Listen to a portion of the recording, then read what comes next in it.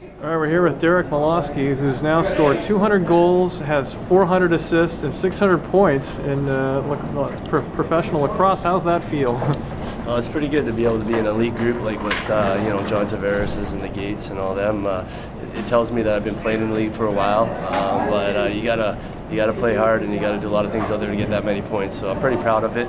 Tonight uh, was a big win too as well, so pretty happy when you're growing up playing lacrosse, uh, is that something that you you know can see yourself doing, uh, playing playing for a long time and getting to a level like this? Yeah, that's exactly what you do. Is you try to see how long you can play for, and uh, it's such a rough sport. It's a, it's a tough sport out there, and uh, the longer you can play, the, the, the better. But it's uh, it's one of those things that I just take one year at a time and really take care of my health. That's key right now, and uh, the points will come. All right, thanks.